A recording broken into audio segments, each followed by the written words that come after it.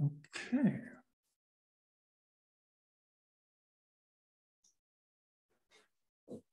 Hello, welcome everybody to um, Symposium number 12, Connecting Biodiversity Data with Knowledge Graphs. Uh, my name is Rod Page, and together with Franck Michel, the co-host, we've got um, a whole series of interesting talks for you on this topic. So um, just a few bits of housekeeping. So this is session 12 on knowledge graphs. Um, the session is recorded, as hopefully many of you are aware. Our aim is to have um, a series of talks limited to 10 minutes. So speakers, either Franck or myself, we will be gently prodding you um, at the 10 minute mark. We'll have three minutes for questions and a couple of minutes to swap over to the next speaker. Um, in terms of the questions, we've got the Whova app. I hope I'm saying that correctly. Um, so there's a Q&A feature on that. We can post questions and either Franck or I will then go through those and read those out for the speaker to respond to. Uh, we're hoping that there'll be a, a, bit of time at the end of the session for a more general kind of discussion. So fingers crossed, everything works and bear with us as we play with the technology. So first up is myself um, introducing the symposium on knowledge graphs. So, do, do, do,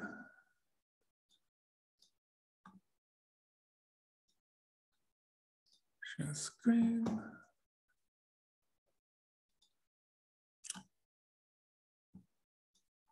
Okay, we'll try that one more time.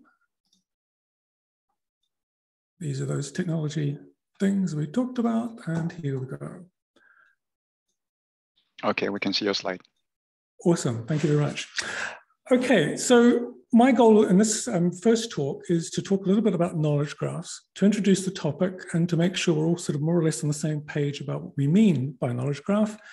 And then going to talk a little bit about the, the overall topic and then finish up looking a little bit at Wikidata. So what is a knowledge graph? So a knowledge graph comprises three things. We have structured data, typically in a format called RDF. We have shared identifiers, which create links. And we're on, sitting on top of that, we have a query engine that allows us to ask certain kind of questions. Now, to make that a little bit more clear, on the right, we've got a little diagram which shows a, a bunch of entities we might be interested in. And each one of these things we describe in a consistent, structured way. The second thing we have in the diagram are these links. And these links are based on shared identifiers. So what that means is, for example, if I'm talking about a paper here, we always refer to that using its identifier, say DOI. And likewise, if we have a person, rather than refer to that person by their name, we use an identifier such as an ORCID ID. So by using these shared identifiers, we can make links between these things that we're interested in. So we have things we care about, structured information about them. We have identifiers that make the links. And then finally, we have this graph, this whole knowledge graph. And so we want some way of bouncing around that knowledge graph to ask questions that we're interested in. So those three things define the graph. Structured information about things, links between the things, and a way to query them. Now, I thought it might be useful to try and sort of make an analogy between where we kind of are in a system that probably many of us understand very well, which is um, occurrence data, and compare that to knowledge graphs. So for example, occurrence data, observations of specimens and so on. At the individual level, we have a standard for describing them in terms of, say, of Darwin core. If we want to move data around, we have a consistent format for doing that, the Darwin core archive. And we, we have a, in a way of describing the data. Now, there's one tricky thing with this sort of data is often we want to convert descriptions of places into um, latitude and longitude. If we have a lot of occurrence data, we want to aggregate that. And we have sort of either regional aggregations like the Atlas of Living Australia, or we may have um, sort of more taxonomically focused aggregations such as VertNet. And then if we want to bring the whole thing together, of course, we have something like GBIF. So we have this idea of at local scale, we describe data, we then aggregate it at increasingly high levels. Now for knowledge graphs, you can sort of think of it in the same way. So at the level of things we're interested in, we have vocabularies for describing that data, for example, schema.org or other vocabularies, and Elie's going to be talking about one of those today. We have file formats for moving data around, such as nanopubs and JSON-LD. And Steve and Maria are going to be talking to us a bit about that. And the sort of equivalent to the geocoding problem is this idea of mapping strings to things. So when we, for example, talk about people, we don't want to just talk about their names. We want to map them to identifiers. And Matthias is going to be talking a bit about that. Once we have our data described in a consistent way using identifiers, then we can start to aggregate. We can start to make knowledge graphs. And these might be at the sort of local or regional kind of level or taxonomically focused. Things such as OpenBiodiv, Ozymandias, and TaxRefLD. And Franck's going to be talking about some of those topics. And then finally, if we've really got sort of global scale, we may have knowledge graphs, say, but like Wikidata. And then Andrew's going to touch a little bit on that. And I'll sort of spend the rest of this talk focusing on that as well. Okay, so we've got some context. Uh, now, for the rest of the time, I just want to look at a little bit at Wikidata. So Wikidata, one of the striking things about Wikidata is that it is big. Uh, this is from the, the founder of Wikidata, a recent tweet saying, look, we've got 400,000 contributors helping uh, grow Wikidata. It has 12 billion triples, that's 12 billion different statements that it makes. Millions of people are using this. And it has about 1.5 billion edits that people have made contributions to. So it's really, really big. It's quite an impressive thing. Now, I guess the, one of the challenges is faced with numbers like that is what does it actually mean? And last year's TDWG, I sort of finished up a similar talk on knowledge graphs, sort of wondering, so we've got these numbers, what they actually mean? How can we get a sense of how good these knowledge graphs are? So what I want to do is, is look at two aspects of Wikidata as a way to try to get a sense of how useful these kind of knowledge graphs might be. So the two questions I want to ask, especially, is how dense is Wikidata? How richly interconnected is? This is the kind of the big selling point of a knowledge graph, the rich interconnections. How connected is it? And the second thing is how actively is it being edited? What's the kind of community like? Now, these are questions you could apply to Wikidata. I, you could also apply to other knowledge graphs. I'm just going to focus on Wikidata. Now, I need to um, define what I mean by fact. And I have perhaps a slightly counterintuitive approach to this. But typically, we may have a database, say the one on the left, where we've got articles, and you may say there's an author, J. Smith, there's published in a journal called Zootaxa, and so on. From the point of view of a knowledge graph, these aren't really facts, they're just bits of text. Another way to think about this is you could do this in an Excel spreadsheet. You don't need a knowledge graph for that kind of information. But in a knowledge graph, what we're aiming for is the article connected to an entity representing a person, not just a string, it's just a name, but an entity for that person, and likewise to a journal. So on the right-hand side, that information in knowledge graph, we'd have two facts. The article's connected to two other things. So then we can say, okay, how many facts are, are in your knowledge graph? So I did this for Wikidata for a small subset of data. So this is a thousand taxonomic publications. And the mean density of facts for this data set was about four.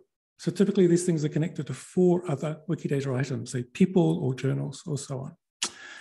But the modal number of facts, the modal number of connections uh, was one. So most things are really only connected to one other thing. And in this case, these are articles. Typically they're connected just to the journal. But interestingly enough, if you look at surveys of other knowledge graphs, most knowledge graphs are actually really sparse. Typically, they're only connected to less than two other things. So Wikidata is doing really quite well. Now, one reason for this high density, relatively high density in Wikidata, is the community. There are lots of people editing and contributing to this project. Now, I'm going to show you a visualization. Now, it's not a great visualization because I have to explain it. Um, but what you're going to see is for every item in Wikidata that I've looked at, these are 1,000 papers, I'm going to plot when was that created on the vertical axis, and also going to plot any edits on the horizontal axis. So somebody adds, say, an article to Wikidata, and they just put it there and nobody else looks at it. This will appear along this diagonal line here. But if somebody comes along and edits it, so maybe adds a DOI or a link to the author, they'll pop out to the right.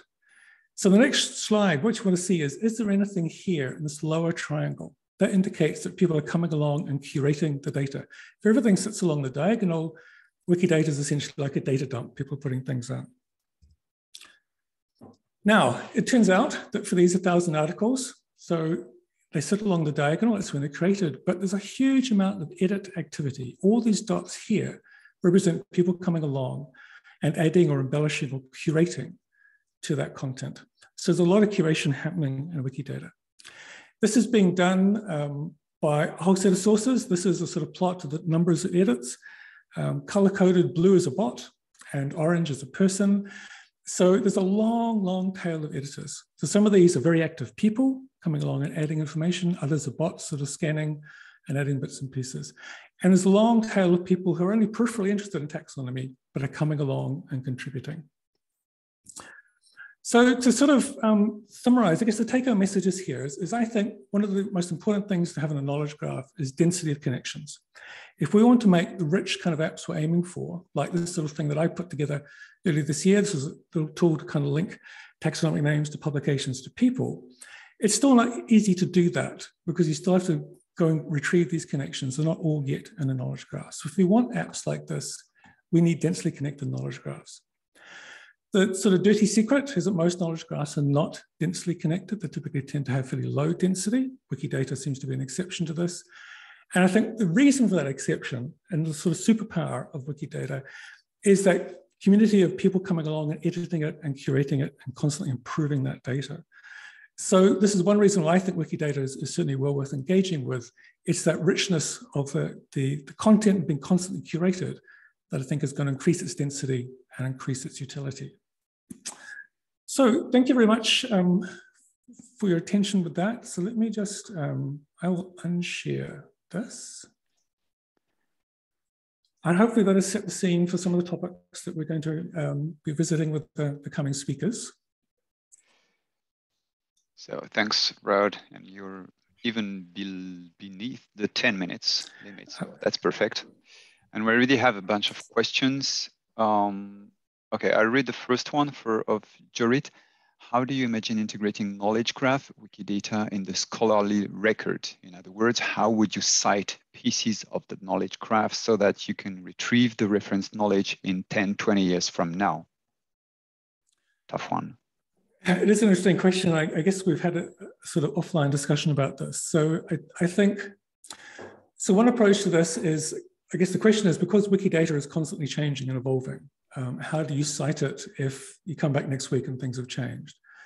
And I think practically most people doing an analysis on a knowledge graph like Wikidata would grab a snapshot at the time of the things they're interested in. So for example, I could grab a snapshot of every taxonomic paper and freeze that, make that available to somebody else. And my analysis would be on that subset. But I think realistically, any large scale database is going to be constantly changing. And the notion that we can snapshot these things is, is problematic. I mean, we don't have version timestamps of GBIF. Um, it, it's going to be a challenge to have timestamped versions of, say, Wikidata. Right. I'm going to the next one. Oh, okay, and, and questions are starting to pile I'm not sure we're going to have time for all of them. Next one is uh, from Nikki. You compared connectivity between the selected taxonomy articles in Wikidata and oops, and other knowledge graphs. What subject coverage uh, did the other knowledge graphs have? Perhaps bibliographic data in particular amenable to linking. So if I understand correctly, I guess the, the question is where did that benchmark come from? Um, those other knowledge graphs are, I forget exactly the topics they covered. There's a, there's a paper cited on, on the slide that actually looked at knowledge graphs and other kind of areas. So that's sort of my benchmark is typically most of these are less than two. Um, Wikidata, of course, covers everything and, and the coverage, the connectivity seems to be a bit higher. I hope I've understood that, that question. Uh, maybe Nikki can say a word if he's around. Oh, this is good. Um, okay, so I have bit of difficulty to follow up with the different questions. Um, okay, next one would be, I think, yeah, we still have time for one. Uh, what are some example use cases of queries that have been guiding your thought on knowledge graphs in biodiversity? So, so maybe to just give one example, and this, this would sort of link with the kind of things that David Shorthouse has been doing. So if you follow his Bionomia project, he often will tweet that a certain person studied a particular group of organisms based on specimen records. I'd love to be able to do the same thing based on a link between that person, their publications, and the taxon, taxonomic species they described. So we can actually derive the same kind of statement that this person worked in this taxonomic group, either through the literature or through specimens from GBIF. Ideally, they'd be the same, and that might be a way to help sort of mutually verify that we have actually identified this person and actually what they actually actively work on. Uh, we're already at the end of our three minutes uh, slot for Q&A. Thank you to all the questions. I'm sorry we, we couldn't address all of them, but these questions will remain online and we can still continue to interact um, on the platform. Okay, so uh, next is going to be my turn.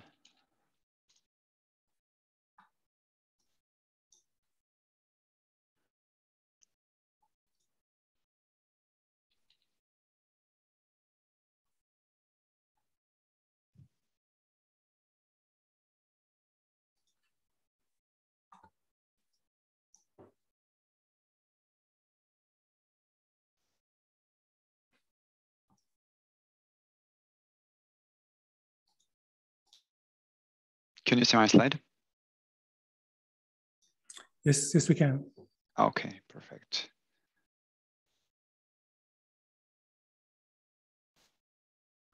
Okay, so uh, I'll start with this second talk. Thanks, thanks Rod. This this is this is a nice introduction to the uh, to the session actually, and uh, in this one I would like to start uh, with a brief look back at what we've been doing in biodiv in terms of biodiversity knowledge graphs so far. Um, um, well, ju just a word first. I don't intend to be exhaustive here, so I will certainly uh, forget many things and many works that have been done so far. Uh, but uh, my point is, is just to, to have a quick look back at where we come from. Um, the first, uh, the first paper I've seen talking about uh, applying semantic web and linked data technologies uh, in the context of uh, biodiversity is one of yours, Rod. It dates back to 2006. Maybe there were other works before, I'm not sure. And that's also the year when uh, the first version of the TDWG ontologies were published. Uh, and just as an information, the RDF version of the Darwin core vocabularies was, was published much later.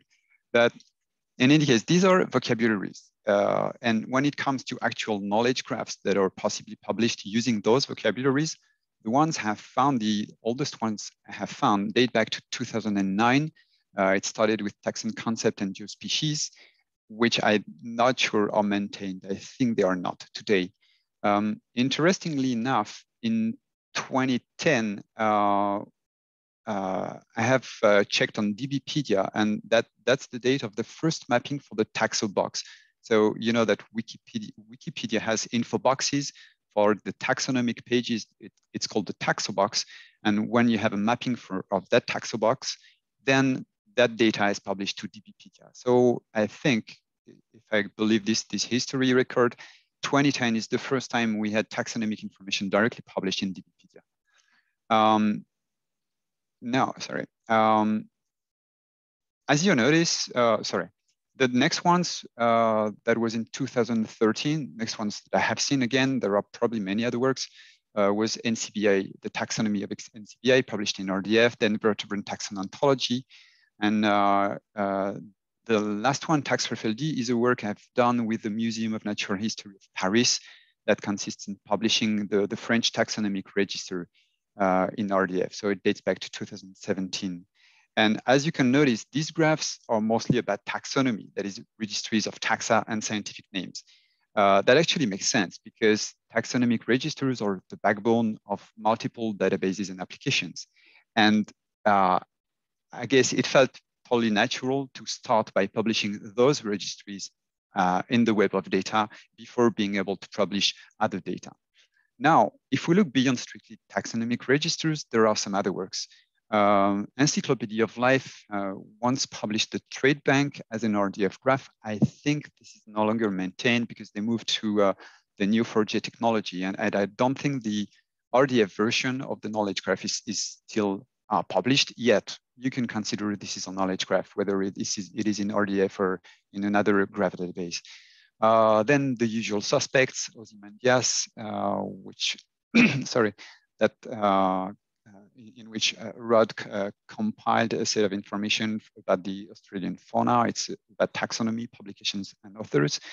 Um, Pensoft has produced the OpenBiodiv knowledge graph, which is also about taxonomy, publications, and authors. Um, in TaxRefLD, we have proposed some extensions of strictly the taxonomy to uh, uh, encompass publications, statuses, that is um, biblio biogeographical statuses, red list statuses, or legal statuses. Legal, I mean things like um, international regulations, conventions, protections about some species. And we have also tried to model species interactions. Uh, GloBI also provides an RDF dump of their uh, interactions. And, uh, and Rod mentioned uh, already Wikidata and the fact that there are lots and lots of, of uh, data pouring, regularly pouring into Wikidata. And here I have more difficulty to, to describe precisely what's the extent of data that is actually published in terms of biodiversity data uh, in, in Wikidata. Now, there are certainly other works that should be mentioned here, but the fact is that there are still little works uh, that have focused on publishing all sorts of biodiversity data as knowledge graphs apart from taxonomies. Um, and in particular, major actors like GBIF have not dived into this yet, as far as I know. Um, so what's next? What are the types of data that remain to publish as knowledge graphs? Uh, well, we can think of many, many different things. Uh, you can think of collections and specimen, and there are already existing big platforms like DiSSCo and iDigBio that could be translated into knowledge graphs. Uh, there are literature platforms like Biodiversity Heritage Library and Plazi, occurrences in GBIF I mentioned life traits. Uh, you can think about phenotype information, about interactions, as this is done already in GloBI.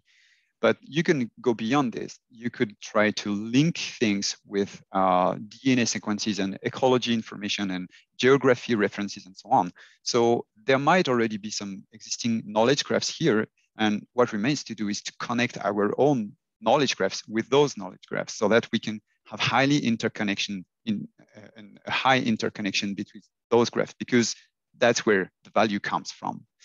Now, to publish all of these knowledge graphs, there are quite a few challenges to tackle.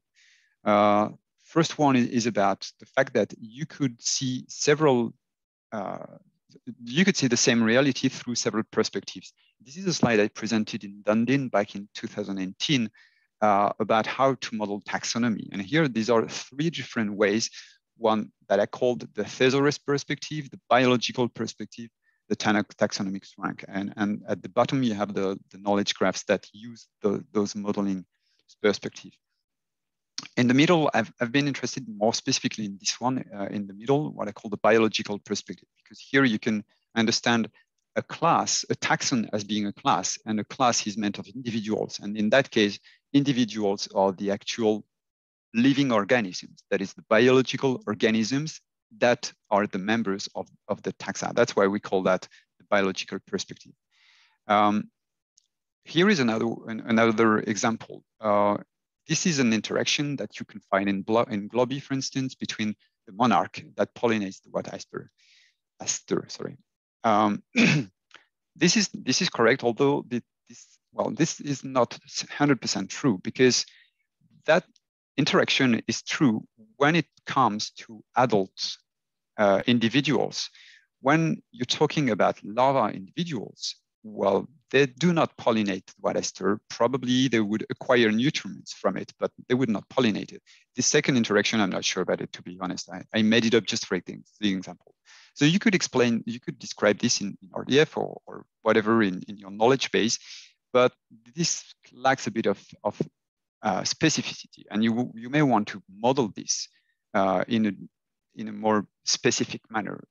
Uh, and one way of doing that is to say, okay, here I have this bubble here, which is the class of all the individuals, the monarch individuals, whatever the development stage. And here I will create some sort of fake class, which is the, the class of all organisms in the adult stage. All organisms, whatever their development stage, whatever the species, no, sorry, whatever the species. So it's all adult individuals, whatever the species.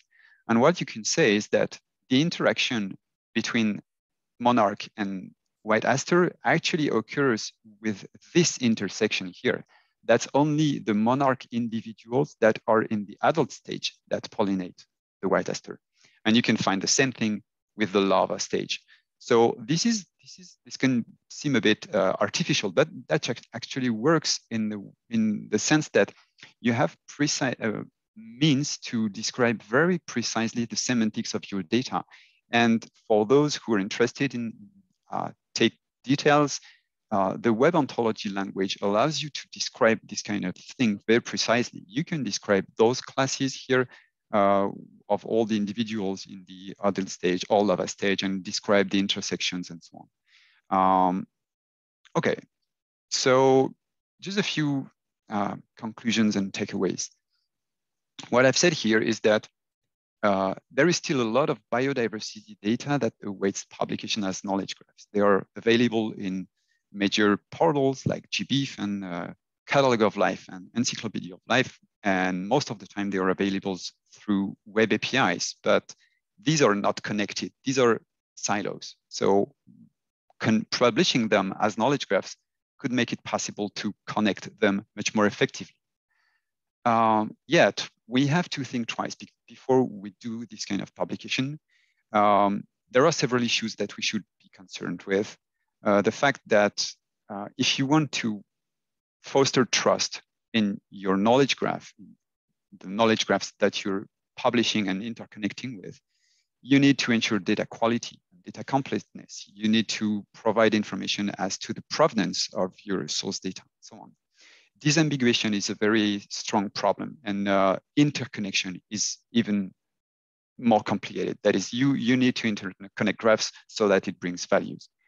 Uh, can we use Wikidata as a hub? That was a suggestion of, uh, of Rod some time, uh, some time ago, and that's, that's, that remains an open question.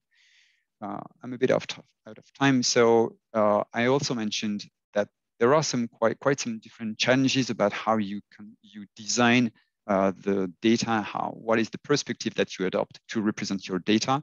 And the semantic web is really about representing this semantics, but you can do it in several manners. So there is probably a trade-off to be found between how correct and accurate the semantics of your data is and how usable it is in terms of concrete applications development. And this is it for me. Sorry for the delay. That was great. Thanks very much, Franck. And you, we've still got a bit of time um, for questions, so don't worry about that. One that seems to pop up is one from Dimitri, who's asking, um, I guess, a very general problem about scaling. So easy scaling is one of the biggest problems with knowledge graphs. Um, so do you anticipate any kind of issues with, with scaling knowledge graphs up, um, in particular when you query it? Um, are there going to be limits to querying these kind of knowledge graphs? It depends. It depends what what we're doing. If if this is just about querying data, well, to my mind, there is not more problem in terms of size than with any any other type of database. I mean, Wikidata is huge, and you can query it rather efficiently. Rather, um, if you want to query to make some very well, clever query that search through different passes through your knowledge graph, that becomes more difficult to solve. And if you add reasoning on top of that, that becomes even more time consuming. So yes, there, there can be uh, um, problems in terms of size of your knowledge graphs and what are the queries that you can pose on them uh, and what is the complexity of the queries.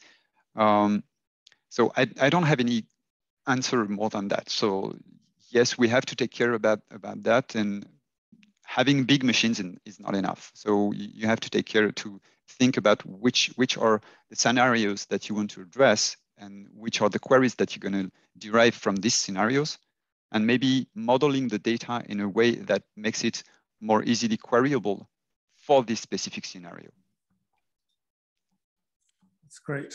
Um, so that seems to be all the current questions and um, keep posting questions, people. We'll also try and come back during this symposium and answer them. So um, I think you're right on time, which is going well. Um, I'm assuming I'm reading this question incorrectly. So next up is um, Mathias. He's going to be talking a bit about the strings and things issues. Excellent. Tias, it's all yours. Thanks, Rod. I'll just check if I can share. Can you see the slides? Yes, yes, we can. That's great. Okay, thanks. Um, yes, so I'm going to talk to you a bit about um, ambiguity in collection data. And well, the title is rather deliberately ambiguous. What I really want uh, to talk about is, is people in collection data. And you may wonder why people, because it doesn't seem like um, in collections, people are at the center of things. It's more the specimens themselves and the scientific data related to those specimens. But people are rather central to society and throughout their lives, more today, but even in history, they leave around a lot of pieces of evidence, lots of traces of information and connections to other people. And through that, they can provide us a lot of information that um, may help us build stronger uh, knowledge graphs. And more specifically, it helps us facilitate um, cross-validation of the data that we already have provide some more uh, certainty about the, the, the, veracity of it, fill up gaps of things we don't know, but which we can infer by building these, these uh, hubs around people. Uh, we can avoid a lot of redundancy of doing the same work all over and over again, including things like georeferencing and taxonomic determinations. We can connect to other graphs and find lots and lots of other more content related to the specimens that we have and even from a historical point of view, we can shape uh, some historical context this way and provide set some light on uh, more controversial issues like in the past, slavery and sexism, which often had quite an impact on uh, specimen gathering.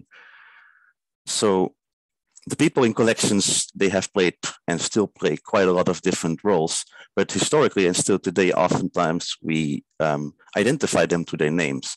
But as you can see there on the right, names are not necessarily good, um, unique identifiers, and they may be templated in various ways, which complicates quite a lot um, machine readability and hence making them a part of these knowledge graphs. And to solve that, we can um, use PIDs rather than names. And fortunately, we have quite some good uh, registries already available in which we can um, uh, identify these people. So we have ORCID uh, for researchers. We have Wikidata, which Rod already mentions as an open database for basically anything, but at least notable humans can be listed and they're quite extensively. Um, and also it has the appeal that you can easily add and edit data in there. And there's also other databases like uh, VIAF or ISNI for content creators and more even more specific ones like um, for the plant names index biodiversity heritage library, which are more specific to the sector of our natural history collections.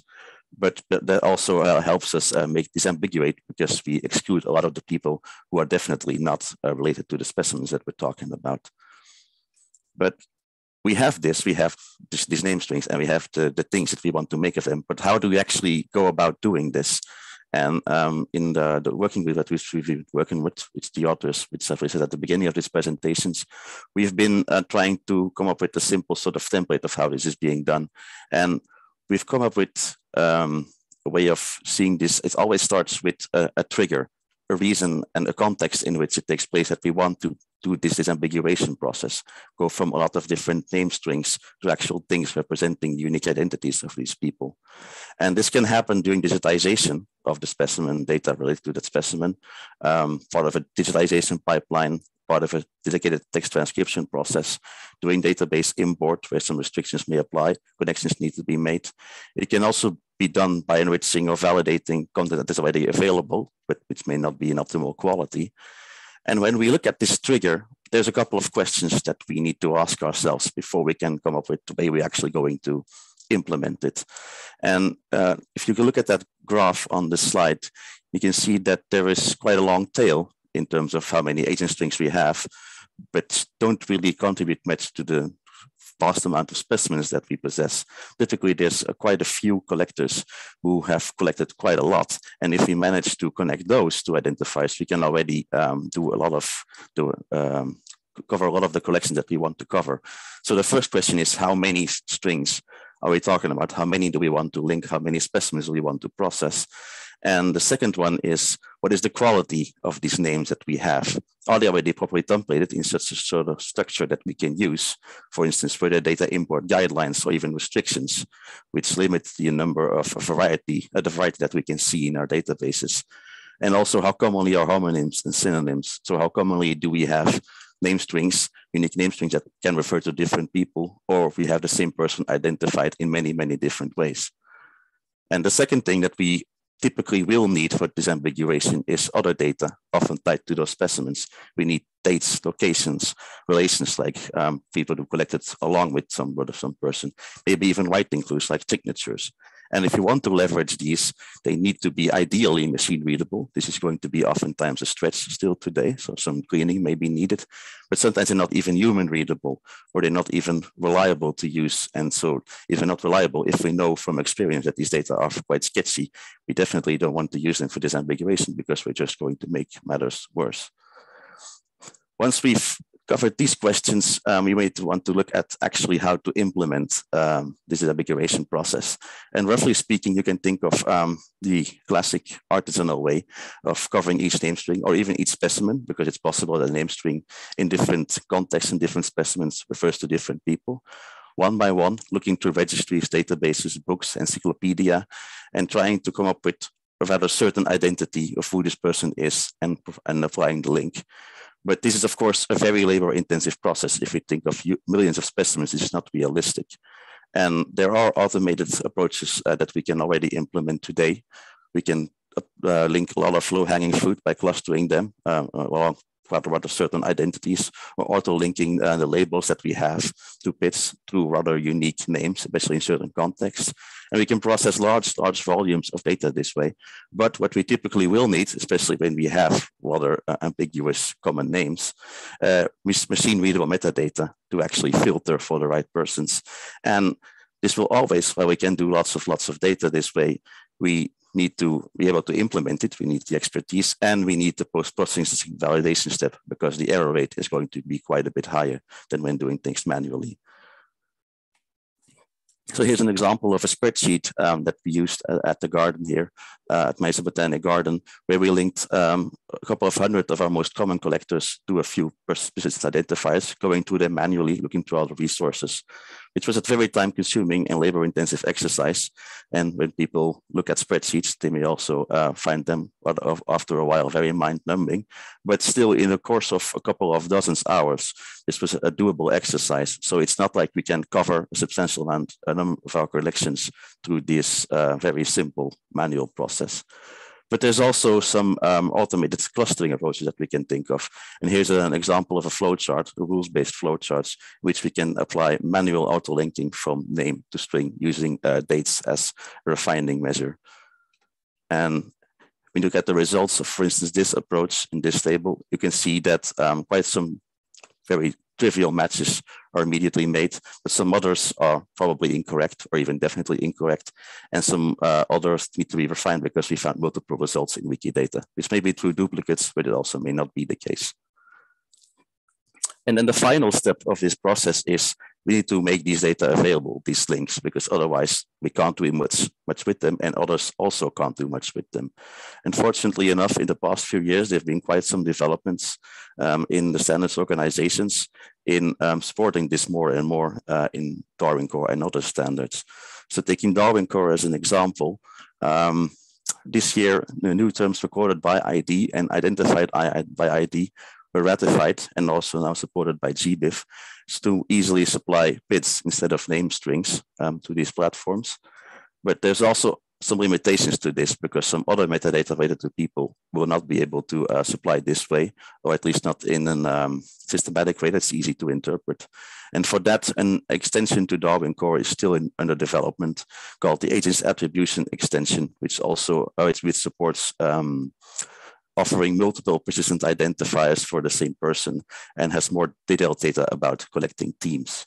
But uh, this one can currently be tested on the GBIF sandbox, but it is still not in the final state and not ratified yet.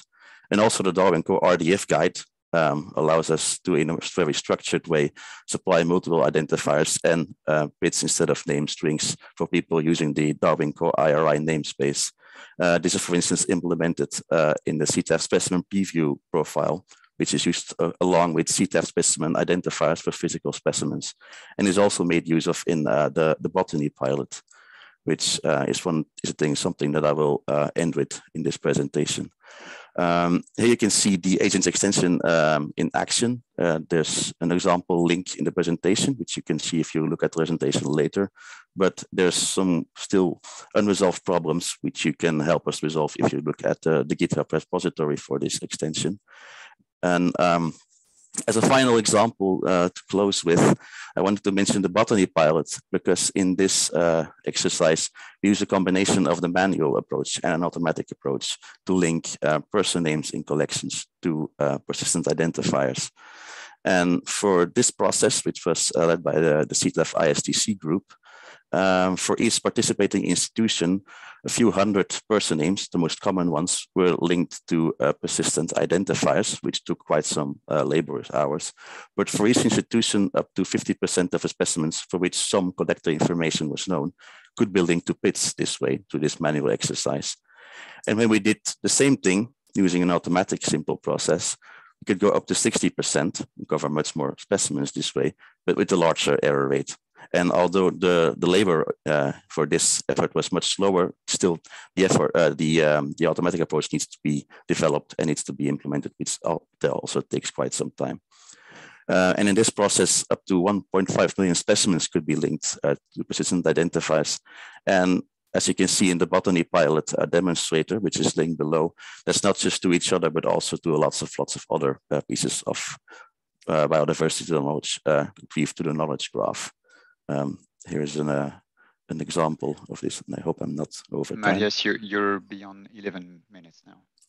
Okay, well, this is my last slide, so I think that should be fine. And here you can see the advantage of using uh, persistent identifiers for people rather than just the name strings. So these affiliations at the bottom don't matter as much anymore, but so long as you have the ORCIDs. Thank you very much, Mathias. Uh, yeah, very interesting problem. And I know many people in the audience have already tried to tackle with this kind of disambiguation issues. Um,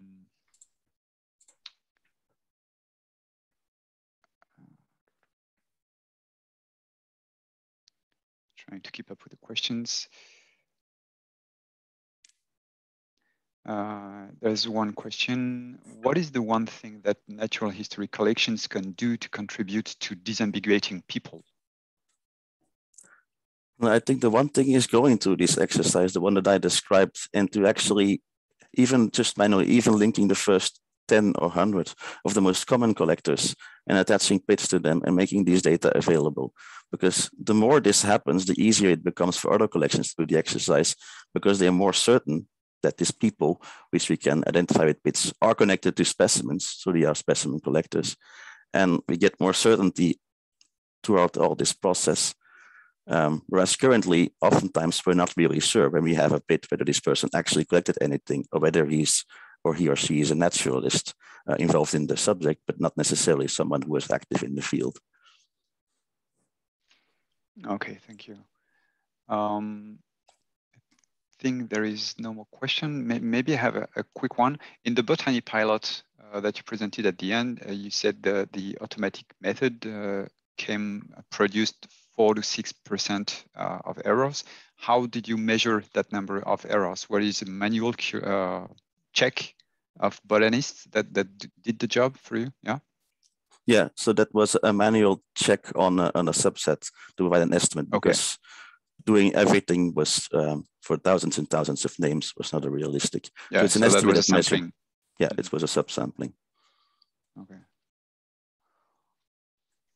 Okay, any other questions in the audience? Um, last one. What about identifiers such as ResearchGate Profile ID? And uh, the, there is another one related, I think, from Rod. Can you comment on whether identifiers such as ORCID are being taken up, uh, taken up by researchers in the field? So increasingly, ORCIDs are being taken up because they're increasingly being used as a requirement for scientific publishing. And I think also increasingly the appeal of these identifiers is, is um, well, it's, it's also increasing because through ORCID, it becomes possible to provide statistics for not only specimens, but publishing as well. And these statistics are very interesting to put on CVs and to put in reporting. And that's what administrators and policymakers care about. And how about the ResearchGate profile ID? Yeah, that's one thing I wanted to touch, but yeah, it was a bit uh, difficult in, in to come up with time. Um, there's a huge amount of different person IDs available. The ones I listed are only a very, very small subset. And in theory, um, any identifier can be used depending on how persistent the, uh, the repository is. Because as long as somebody has made the connection and if someone else has made the connection as well, then we have this link because we, otherwise we need to go to a data broker to find it. But in practice, of course, um, some identifiers are less used, maybe they get deprecated or may even cease to be uh, persistent and may have uniqueness issues. Um, in, in my personal opinion, I think it's still a question of the more identifiers, the better. So look at quite a few different resources and try to link to them um, as much as possible. But of course, there's no point in linking to the, the hundreds and hundreds of different registries that are currently available, especially because they're not always as stable. Yeah. Okay. Uh, thank you very much, Mathias. Um, and uh, we'll move on to the next presentation. Uh, that's going to be Steve, right? Yes. And talk is having your cake and eating it too, JSON LD as an RDF serialization format. Yeah, and if you don't mind putting the link in the chat yeah. to the. Um, I will do that right away. Yeah. All right. Okay. Well, in this talk, I'm going to be using the Lord of the Rings as an allegory with data providers and their tables, developers and their JSON, and linked data advocates with their RDF as the elf lords. It's my goal in this talk to convince you that JSON LD is the one ring that can satisfy and rule over the three lords of TDWG. I'll start by introducing the three key features on which my argument is based. The first is JSON, JSON is an acronym for JavaScript Object Notation. It's a simple structured data exchange format, and it's the most common format used to transmit data from APIs or application programming interfaces. It's also easily consumed by most programming languages and web pages. The second feature is JSON LD. JSON LD is a JSON-based serialization for linked data all JSON LD is valid JSON, so it's 100% compatible with existing JSON parsers and libraries. And it's Google's preferred format for structured metadata in web pages and is therefore widely used. A subset of JSON LD can be used as a serialization format for Resource Description Framework or RDF. And importantly, for a standards organization like TDWG, JSON LD is a W3C standard. When I talk about a narrow design pattern, I mean imposing limitations on how JSON LD should be structured so that it allows us to meet multiple goals. This is where the cake part comes in. I got this idea from several sections of the design patterns document of the highly successful IIIF International Image Interoperability Framework. Section 2.7 of that document says that we should make it possible to use RDF technology with JSON LD while not requiring it. Section 2.8 of the design of the document says that developers should be able to use the JSON LD without needing to know anything about RDF. The various parts of section three of the document describe limitations in the form of JSON LD that makes its structure predictable and makes its patterns easy to remember and use. In the context of TDWG, the limitations we set should make the patterns familiar to people like providers who are used to dealing with tabular data. In the rest of this talk, I'll make the case that a narrow JSON LD design pattern can make it possible to convert conventional tabular data into a transfer format that will allow it to simultaneously be loaded into a triple store as linked data yet also to be consumed as normal JSON by applications. If properly constructed, this JSON LD can be both self-describing and lossless. In the next section of the talk, I'll describe in broad terms three overarching principles for a design pattern appropriate for TDWG. The first principle I call simple Darwin core principle because it maps data to a flat, un, in a flat unnested way, similar to the way that a row applies to a single resource in simple Darwin core. The correspondence between a JSON object and a row in simple Darwin core should be apparent the names in the name value pairs should be term names, just as they are in table column headers. The values in name value pairs should be simple data values, just as they are in a table row. I call the second principle the star schema principle. There should be no more than one level of nesting below the core JSON object. This is similar to the limitation of single links from core to extension tables in a Darwin Core archive.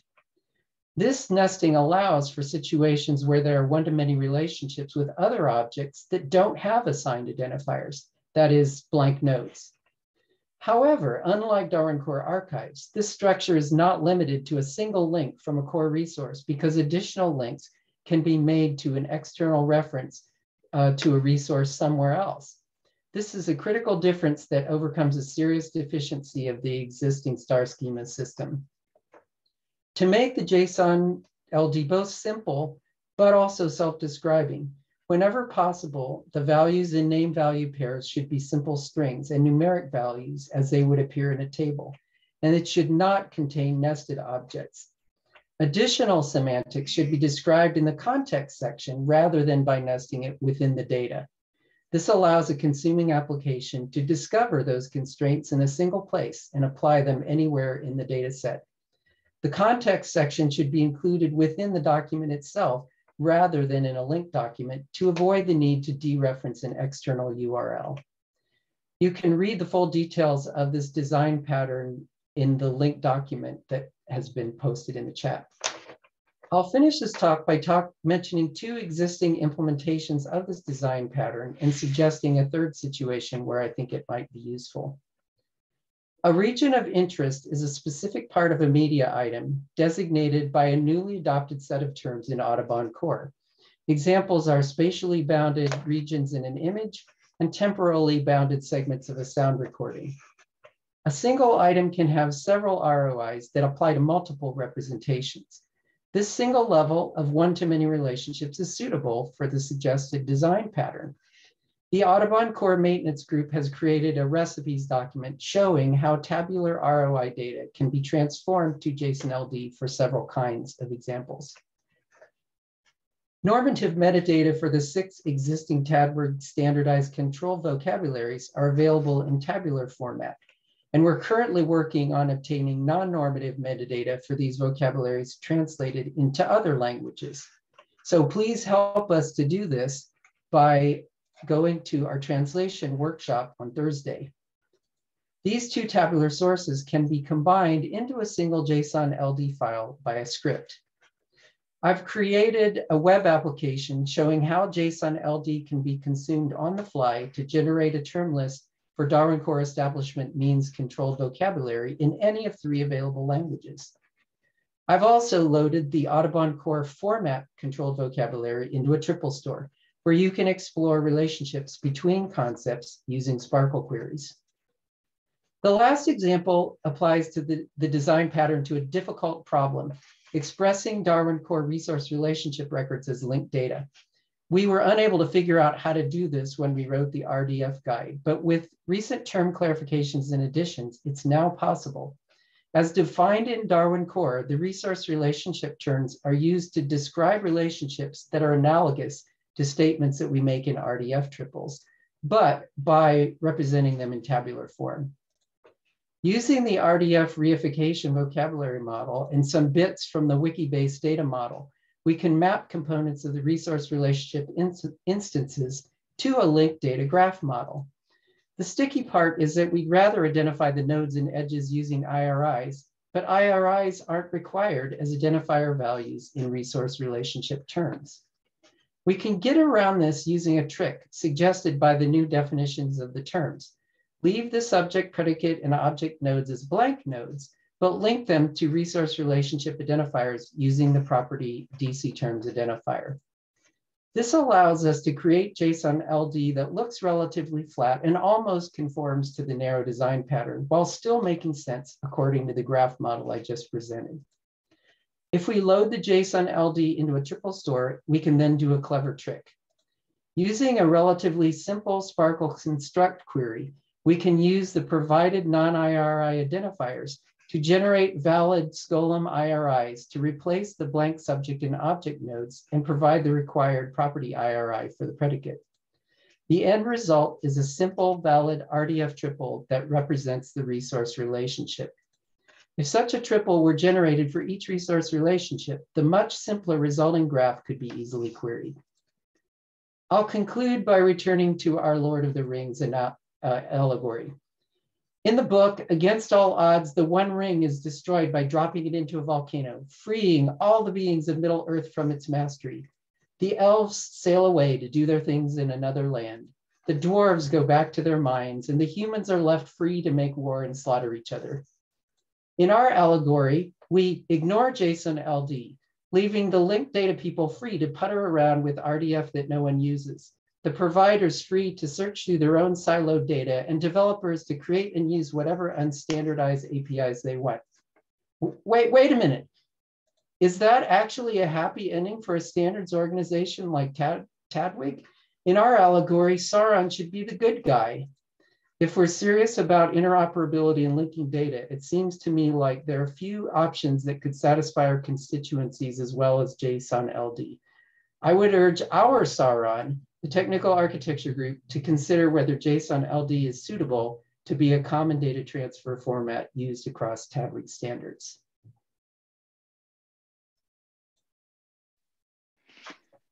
Thank you very much, Steve, for this trip into Tolkien's world. Unexpected, I must admit. I don't know if those who are part of the TDWG tag will recognize them themselves as uh, being part of Sauron um, well, I'm on the well, tag, so I I will yeah. I'll accept that label. okay, um, I will start with a question of Rod. Uh, JSON is becoming more popular. Um, oops. Will this create a mess of incompatible ways to describe the same data? So wait a second. While JSON um, Rod, maybe you can comment on the link you pasted in the in the question Sorry. Um, so, Steve, I've been cataloging different occurrences of JSON LD that I see in the wild on publishers, book publishers, uh, people, all sorts of places. And there's lots of scope for doing it in different ways. So, I guess my concern is won't we just have a whole exciting but messy situation, different kind of ways to do this? Yeah, well, that's why the, I guess I would say the point here is the narrow design pattern. If you look at the, what IIIF does, they prescribe very strictly how the JSON LD should be constructed. So everyone who uses those um, restricted design patterns basically creates compatible JSON that developers can just treat as like JSON they get, that they would get from an API. So my idea would be that we would develop a similarly restricted design pattern that would make it possible for uh, people to, to uh, present the data and still have it be consumable without somebody having to understand or figure out which particular structure was chosen. And there is another question from Jorrit. Um, JSON is fun when applied to small data. What is your experience in dealing with billions of JSON documents? Uh, none. so I think part of, you know, one of the things I've struggled with is you know, is there going to be some big player who's going to create a massive triple store somewhere for everybody to use? And I think the conclusion, unless you think that's Wikidata, is probably no.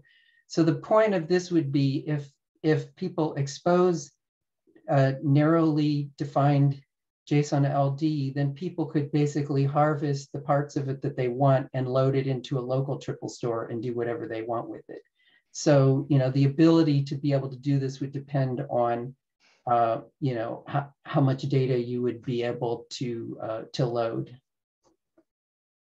Yeah, maybe as a complement, uh, in the bioschemas.org uh, project, we, we have this idea of uh, well, the, the, the goal is to use schema.org to annotate bio, biology resources on the web.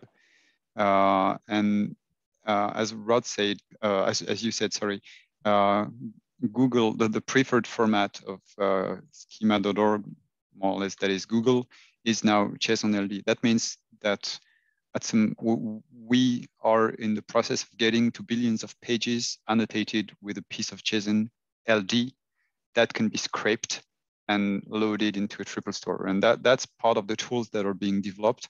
So I'm not saying that uh, these tools can now support billions of documents.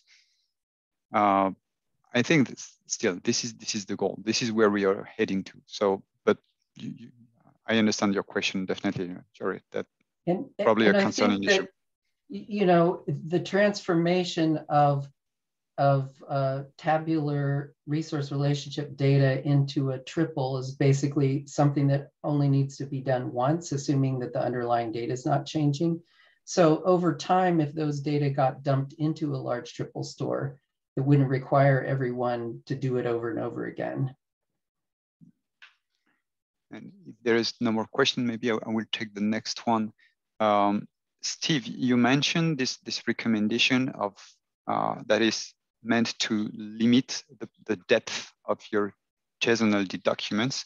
I'm not sure I understood. The point is where to avoid having too many blank nodes so that you can flatten things. Uh, and instead of having uh, deep structures, you put them outside with a specific ID so that you avoid blank nodes. That's the idea? Yes. And so the, the idea would be that it would make it easier for someone to map tabular data into a structure like this. The problem is that you can't make those external links if, if things don't have uh, IRI identifiers. And our, our community's been very slow and reluctant to, uh, to adopt any uniform system of IRI identifiers. So that's one reason for making the links internally uh, through but you know, right now we're limited in the uh, star schema to a single link, and those links don't have to have identifiers. But if you want to make if you want to make links broader than that, then you're going to have to basically have an, an external IRI identifier to make that link. And that, that's sort of a problem that's not necessarily going to be fixed until we fix the identify the IRI identifier problem. Okay, and don't, don't you fear that the, the risk is that if you sort of force people to use URIs rather than blank nodes, then they're going to come up with their, they, they, they will just coin their own URIs for each and everything they have to deal with. Yeah, well, that so this is actually a detail that I didn't go into this thing I was talking about resource relationship. The the this idea of a Skolem IRI is uh, is I think something not well known, but a cool idea. It's basically a way that anyone can make an assertion that a non-IRI identifier is an IRI. So if you have IRI, if you have non-IRI identifiers that are um, like uh, um, UUIDs, you can, uh, UUIDs are by their nature uh, unique. And if you turn them into an IRI using this Skolem IRI process, then you basically have a unique IRI identifier that's usable in linked data without requiring the provider themselves to maintain to mint and maintain those IRIs. So that's I guess what I would say is the trick that I was talking about in or one of the tricks in representing resource relationship tabular data in a form that is actually uh, something you could put in a triple store. I see okay, thank you very much laugh here. uh, I think we'll need to move on to the next presentation. Um,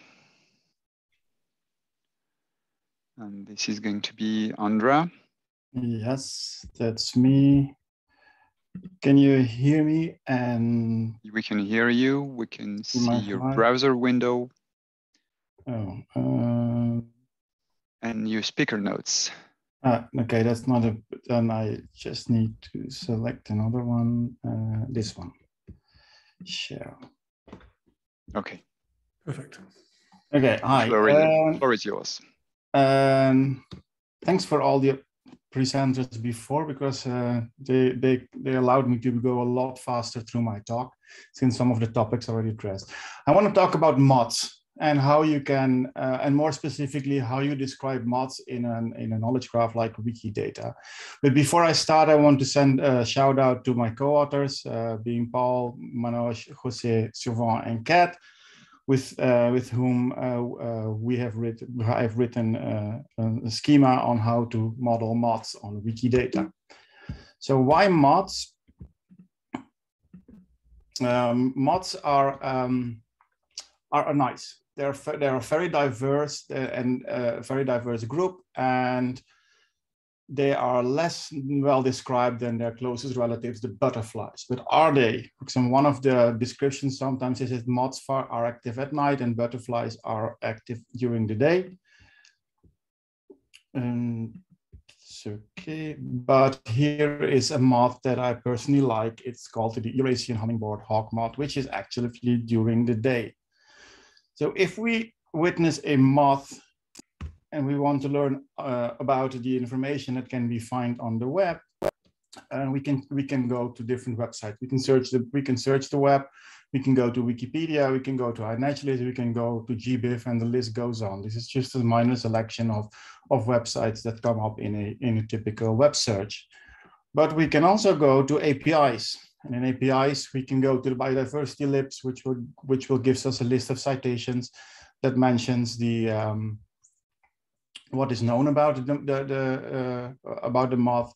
We can go to GBIF, we get JSON, and we can go to um, we can go to uh, iNaturalist, which also has JSON, but do note, which was already addressed by Steve, that this is a bit different. There is a hierarchy in the JSON compared to the one at GBIF. And there is um, Plazi um, that based on a specific query delivers data, data frames or tabular formats on, uh, on what is stored in Plazi on that specific moth. So when we try to make sense of that information and we're trying to combine those, we're facing a challenge because each of the different uh, resources come with a steep learning curve it's not only because of the myriad of methods to access that, it's whether it's a data frame or a specific REST API call, which has their specific queries. There is also a myriad of formats to which extent, to which the data is being presented uh, to the audience. So it's, it's difficult to, to uh, combine all the different sets. So what I'm um, going to argue here is, I'm, I'm guess I'm one of those RDF advocate Steve mentioned, uh, is RDF. So RDF, it's, um, it's the data format for the semantic web and it follows uh, the, the, uh, the triples, the triplets. That is, all, all statements are expressed as in a subject predicate object. And here we have such a subject predicate adjective. This is made up for this call. There is a genus that has a Plazi ID and a label. So in this example, we have two triples. Two sub this is the subject, those are the predicates, and those are the objects. Now, another data set uh, has the same set of triples. So here we have the moth with a set of predicates, and we can easily combine those data set into a graph, into this graph by concatenating the two triple sets to each other. Um, Now, this example was fabricated for the sake of this, uh, for this presentation. However, this is an actual RDF dataset coming, for example, from Plazi, which has its own representation.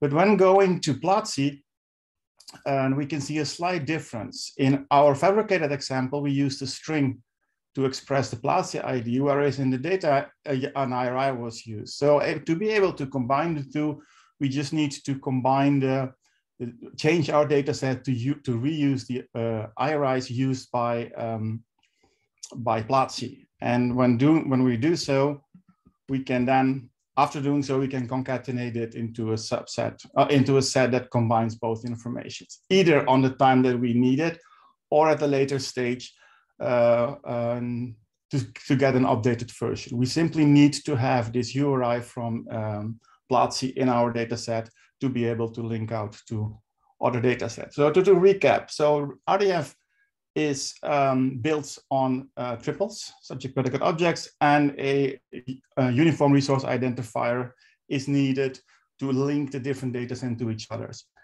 And also literals and blank nodes, they have already been addressed in previous notes, but uh, I refer to the web uh, for details on this. For, for the rest of my talk, I would like to focus only on the triples and the URIs.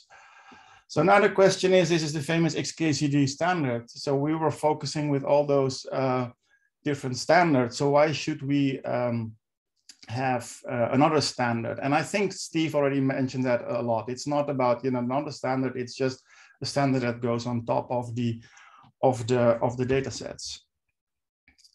So where do we find the URIs? Uh, again, this is outside the scope of my presentation. Franck already mentioned another ones. These are the two I frequently use, is the EBI ontology lookup service or the linked open vocabularies. However, there is also Wikidata, which is a part of the Wikimedia infrastructure, and it consists of three components in this infrastructure. We have Wikipedia, we have Wikicommons, which is for images used in Wikipedia, and initially Wikidata was actually like Wikicommons, for Wikipedia to, to have structured data. However, it is now going to what uh, Rod already mentioned, quite a usable uh, data set, uh, knowledge graph that extends the use case of Wikipedia. It is completely free. Anybody can contribute. And not also not only not uh, and also quite important, it's stable. It is not dictated by funding cycles of projects. Here is how it works. And you can go to any Wikipedia article and here we have the Hummingbird Hawkmoth.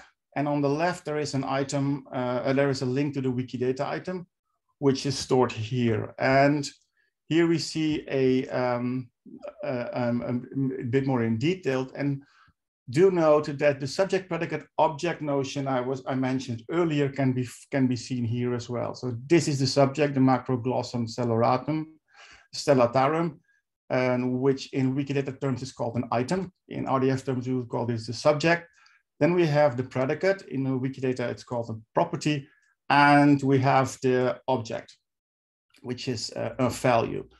Uh, not shown in this example that a Wikidata data model also um, has qualifiers and references, which extends the RDF model, but there is some clever rendering to render those, uh, the references and the qualifiers as RDF as well. And when you uh, go look under the hood, we do see this RDF representation. This is the RDF representation of the week, or actually a subset. So you have the subject predicate object, predicate object. So this can then be com combined with other RDF datasets out there. So now that we have set the stage for Wikidata, how do we get, uh, how do we describe a moth in Wikidata? And then we reached out to Siobhan. Siobhan um, um, react, uh, responded to it. We had a tweet exchange about how do you describe moths. Actually, it was going on with co-author Paul and, and Siobhan. And they set out in describing the, the properties and structure of what a Wikidata, of a Wikidata item on a moth should look like. This is, this is really telling and helpful, except there are some problems. So for example, we see here the, the instance of a taxon and a synonym, but not all taxons are both a taxon and a synonym. So we need to, uh, that, that's one thing. So one of those items are mandatory and which are optionals. And also there is also a problem of what are the constraints of uh, the cardinality? Can we have one image? Can we have multiple image? That is where uh, we use a, uh, formal language, which is the shape expressions. This aligns well with what Franck mentioned as all, with the exception that OWL is more to describe real life situations and shape expressions is to express uh, the data, not per se the meaning of the data. So here we took the uh, we took the Google Doc and described those in, in, in this machine readable format. And as you can see, initially all the selected items of moth failed. We then uh, changed some of the cardinalities. We say uh, we expect more than zero images. The synonymy is optional. The basionym is optional. And uh, we follow the same syntax of, of regular expressions. And now we have two out of uh, five that, that needs fixing. This is our uh, guiding species for this talk, and it's, it, it fits this schema. So the conclusion, RDF allows rapid integration of heterogeneous data sets. Wikidata renders its content as RDF, which allows combining it with other RDF data sets. Triples allow a myriad of data patterns, and which means that schemas are needed to describe desired patterns. Schemas should initially be described in natural language uh, and then conformed into a formal language like shape expression to check whether the schema fits uh, it, it checked whether the items in Wikidata fit that expectation, either by the user or a data provider. And I end my talk with um, links about further. The first, uh, the first two items are the, the schema as described in the course of this presentation. And here are some recommended uh, papers on processes and getting Wikidata on getting data in Wikidata. And finally, we have, uh, there is documentation here on to describe shape expressions for those models. That's my talk for now, and I'm happy to take questions. That was great. Thanks very much, Andra. Um, to try and kicks out the questioning, um, you, you mentioned shape expressions and you created these to, to sort of validate the data lots of things in, in Wikidata are community driven. So do you imagine that these would be something the community would assemble and then have to agree upon? Or Yes and no. There, there is an extension to Wikidata which is called the Entity Schema Namespace, uh, namespace, which uses the shape expression. There is also another format which is constraint violations, and that's where they differ. Uh, uh, a shape expression or an entity schema is a document like an item, so the community can uh, respond to it as they respond to either a Wikipedia page or an uh, or, or a commons item. So that's one thing. And they are not guiding, they are expressing expectations. So this is how Siobhan and I and Paul and Accorda see how moths should be described on, uh, on Wikidata. That is not to say that someone needs to agree. There is some ambiguity that is supported in Wikidata. And using the shape expression, you're able to see as a customer, this is my expectation of what I want to see from Wikidata. But as a data provider, I can also describe when I provide my data into Wikidata, this is how I present my data. So it's, more an, a contract or a document of expectations than it's a policing document that says this is how it should be. Great. And, and finally, there's a question from Franck. Um, did you apply this shape expression to all the Moth instances in Wikidata or just the ones that you contributed through your project? For um, no, yes and no. Uh, for Moth, no, that is still work in progress. So we need to uh, set up uh, to, to do this on all the Moths. However, I have applied this on different, we have done it on all the diseases from the disease ontology and we're regularly, so yes, we are regularly uh, applying these on, on large scale items in Wikidata but not yet on moths. Also because I'm not a moth expert. So I think we first need to agree on what is, we, we need a curation session. So because that is something I forgot to mention. When you, when you saw one of those error messages, the error message, which was a red cross in there, is not necessarily an, error. It could also indicate that the schema is still incomplete. So when you have to deal with those, those curation reports, you may need to make the assessment, do I need to fix something in Wikidata or is my schema just incomplete and I need to adapt the schema to the extent that it will fit the data in Wikidata. So it's, it's a bidirectional process. That's great. Um, thanks very much for that. And there are a few more questions popping up in the chat if you want to go in there and, and um, answer some of the questions that are popping up. Will do. So, so moving on, next up we have Elie, who's going to be talking about zoonom, gathering the concepts of zoological nomenclature and an electronic thesaurus. Thank you. Hi, everybody. And I will now share my screen and you should be able to see my screen now. Yes, yes, we can. That's great. Thank you. Let's go. So hello, everyone. My name is Elie Mario Saliba, and I will be presenting Zoonom today. Uh, if you're not familiar with it, zoological nomenclature is a sub uh, subdiscipline of taxonomy that is an essential tool for communication between zoologists and scientists in general um, zoological nomenclature and it, its product, which is also called a nomenclature, is also useful in the connection of science and natural science in general with the world.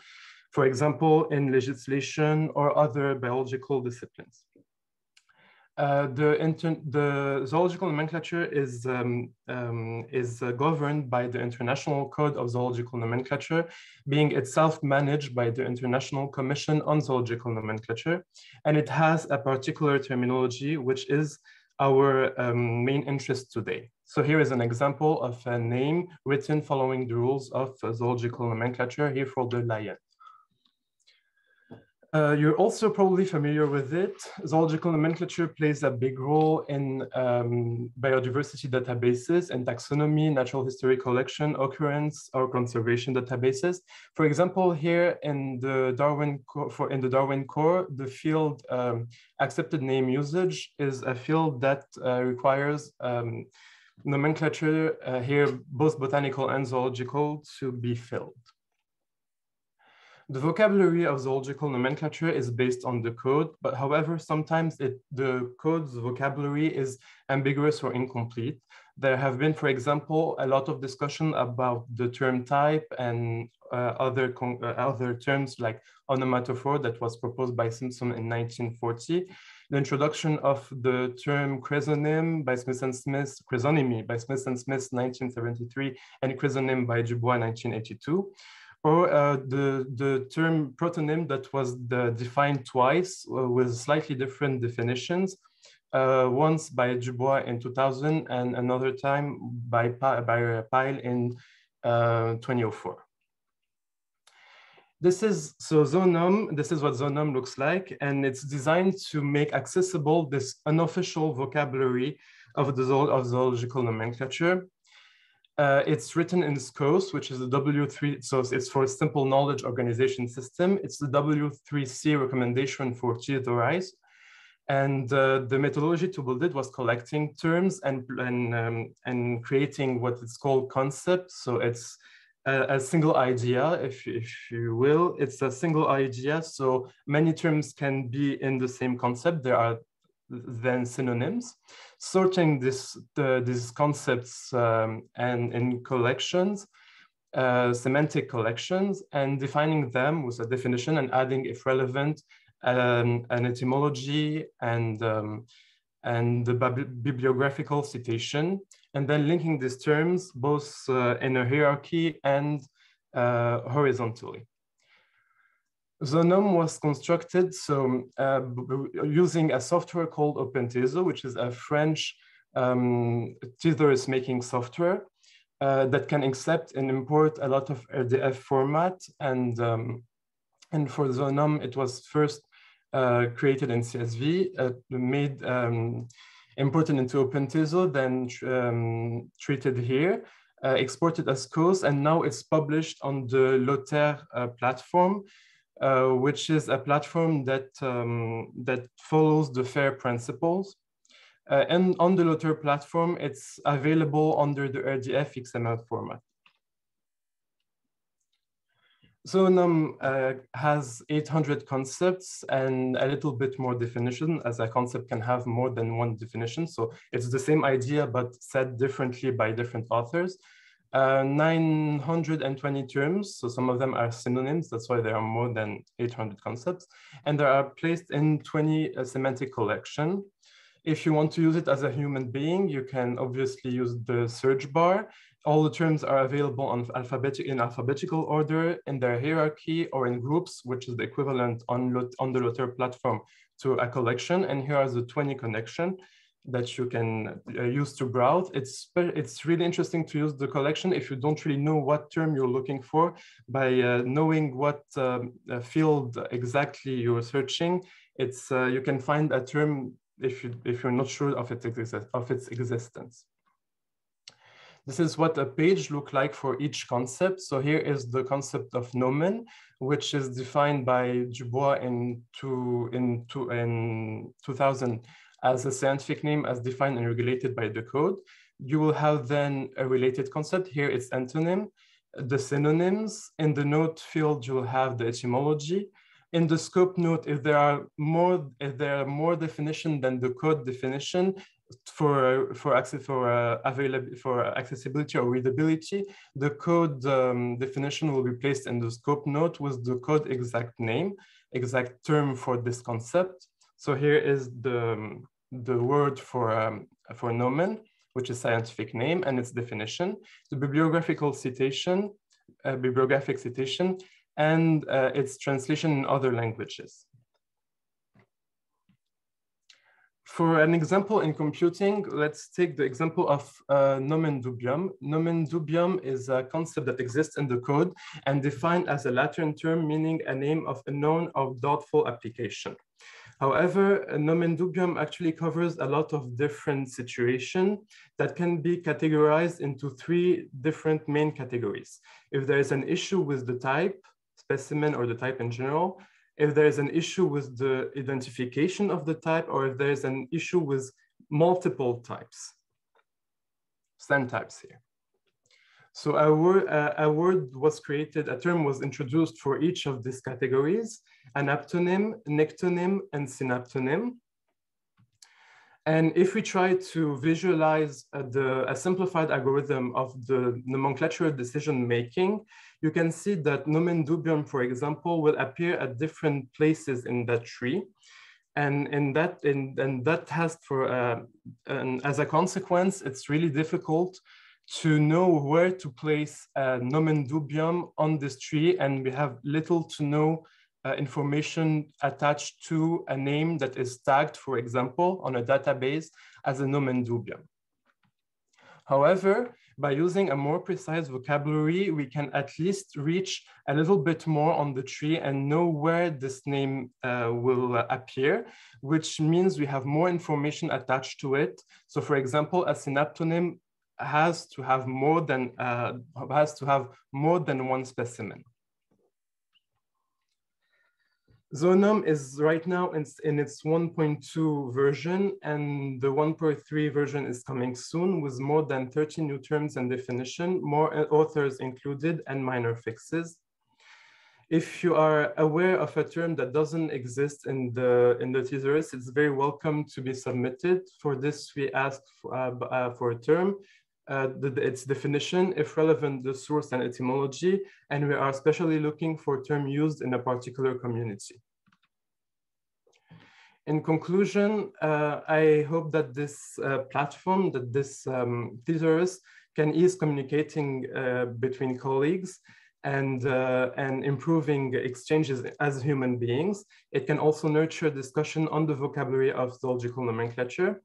I strongly encourage also to cherry pick if there's a term or two or uh, some concepts that can be useful in your context for your schemes, for your, um, for your database or what you are working on to go and try to find if there is something that can uh, make you um, make you able to have to access a more precise tagging. And um, and knowing and being able to have access to a more precise vocabulary is, a, is the first and most important step in the computerization of the rules of uh, the zo of zoological nomenclature as computers are less um, on, uh, are less um, able to manage uh, ambiguity it just happened that it's my PhD thesis subject, trying to computerize the rules of, of nomenclature. Thank you for your attention.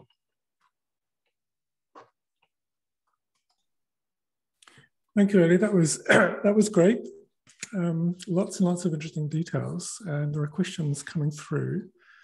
Um, so I think um, Steve Steve asked the question. So one of the great features of SKOS is that it supports preferred labels in multiple languages.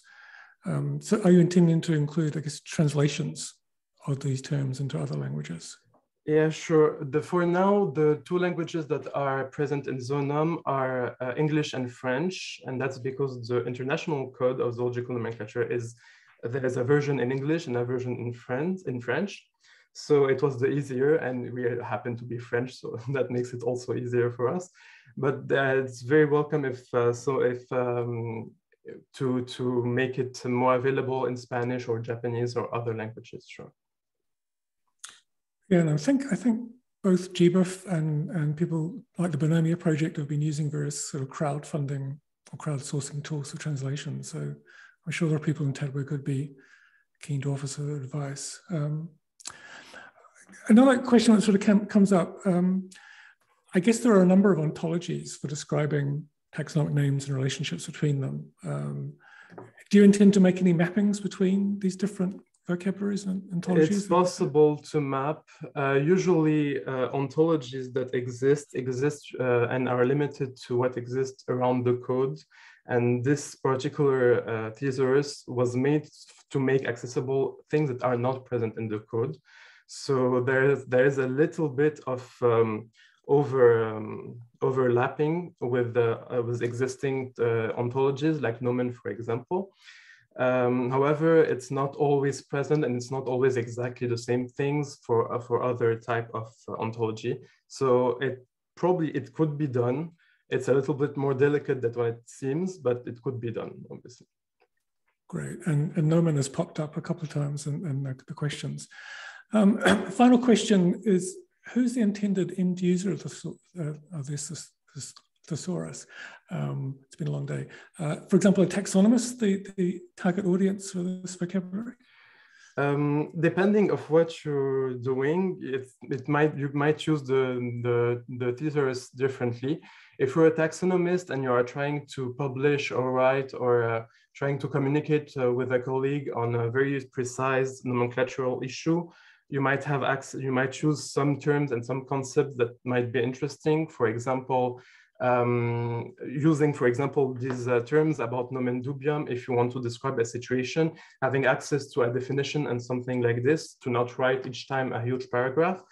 Um, if you are working in databases, you might want to tag some information, for example, distinguishing between what is um, what is um, objective synonym and a subjective synonym because they don't have the same value taxonomically speaking. So, so if you need to use different names, exact different names to not use synonym twice and not have issues of um, of making it uh, redundant or having a risk of um, mixing up things, uh, you can use a more precise vocabulary once again.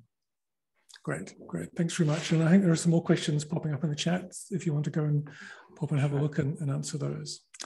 Thanks very much for that. So next up, we have Maria, who's been waiting patiently. Maria's going to talk on nano publication, nano publication approach towards big data and biodiversity. Hello. Um, you should be able to see my screen now uh, correct? Yes, we okay. can. Yes, we can see them. Okay, so yes, like you said, I'll be talking about nano publications and their potential to exchange biodiversity data. So to start off, what is a nanopublication? Um, is it a type of publication or is it something else? Uh, the definition in the nanopub.org website is uh, the smallest unit of publishable information. However, this definition mostly refers to the type of content in a nano publication, whereas I see a more suitable publication, uh, a more suitable definition be linked data containers for scientific results and much more, which is again by the NanoPub organization, uh, the Twitter account. So the key word here is containers. Uh, and this is because is, each nano publication is actually a graph in itself uh, it's a graph which links to three other subgraphs, the assertion, provenance, and publication info. So these three graphs uh, contain different, uh, um, different um, parts of information. The assertion graphs contains a simple fact or uh, the smallest unit of publishable information, whereas the provenance graph contains information about uh, who made that statement and the publication info contains uh, information about the metadata of the nano publication itself. So who created uh, this, this uh, nano publication. So perhaps most important about nano publications are that they are machine readable in RDF format. So uh, they can be understood mainly by machines because as you can see, uh, as you will see in the next slide, they are not really that human readable. Uh, so that means that each of the subgraphs has its own identifier and uh, you can attribute insights not only the nano publication, but also each of the constituent graphs. And also another important uh, aspect is that nano publications are immutable. So uh, their um, integrity can be verified using trusty URIs. So the, the content of the nanopublication uh, can be can be guaranteed that it hasn't been changed. So this is a simple example of a nanopublication expressing that uh, one person knows another person. And uh, you can see this fact uh, made in the, in the blue box where each two people are uh, distinguished uh, via their ORCID IDs. And also the friend of a friend ontology is used to the knows property from the friend of a friend ontology is used to define the relationship between these two people. In the, in the red box, you see the provenance of the graph. Uh, so who, um, who made that statement? It's the ORCID ID of the uh, author of that statement. And finally, in the yellow, in the yellow part, you can see um, the metadata of the nanopub itself, when it was created, who created it, and also its uh, um, public key and signature. So what, what infrastructure exists for nanopublications? Uh, where are they stored? And the answer is they are stored in a nanopublication server network. Um, and uh, this is a network of um, servers which stores all of the nano publications. And also, um, how are they created? So um, there is an application called NanoBench uh, developed by Tobias Kuhn, which uh, is aimed at creating nano publications based off templates. And it deals with the digital signing of nano publications. And how this is done is that anyone can install NanoBench uh, and also uh, authorize themselves with their ORCID ID. So any publication published with NanoBench is automatically associate, associated with the ORCID ID of its author. And what is not pictured in this um, diagram is the NanoPub Java library, which is a library that actually um, does the digital signing of the nano publication and also it can verify the integrity of nano publications and the immutability. So what are the opportunities for nanopubs uh, to help biodiversity informatics? Why do we why do we mention them? And I think that nanopubs can be used as, as a way to exchange information between infrastructures. And this is because um, as we all know, different infrastructures have their own data model. And uh, we have this problem of having to um, map between different data models and APIs. So what if infrastructures actually exported data in, in one common format that could then be um, made into a nano publication and then other infrastructures could uh, subscribe to such nano publications. So this is one idea how nanopubs can be used to solve this uh, interoperability issue between different infrastructures.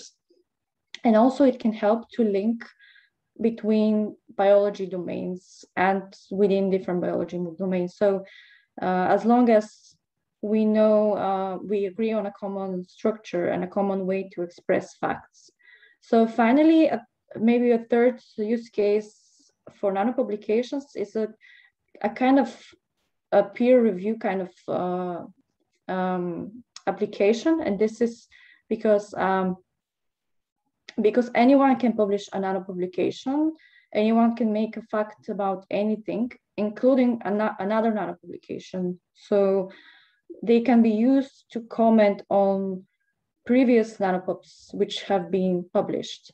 And uh, it's easy to attribute uh, the actual author of the fact in the nano publication. So you have a full trace of who made different statements and who uh, perhaps disagreed or agreed with them.